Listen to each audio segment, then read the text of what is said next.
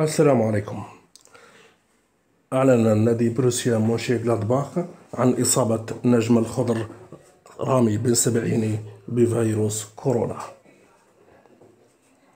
حيث أعلن النادي أنه بعد وصول اللاعب من تربص المنتخب الجزائري كشفت التحاليل إصابته بالفيروس.